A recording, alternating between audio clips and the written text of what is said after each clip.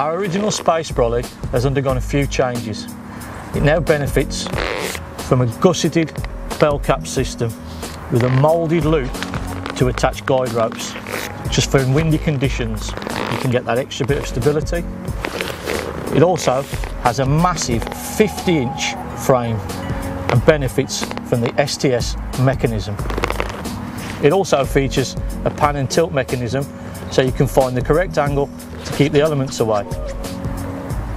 And for extra stability, in addition, we've now attached three looped pegging points to make sure that the new Space Brolly stands up to the harshest of weather conditions.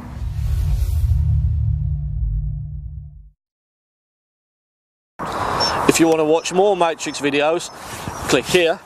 If you want to subscribe to the Matrix channel, click here.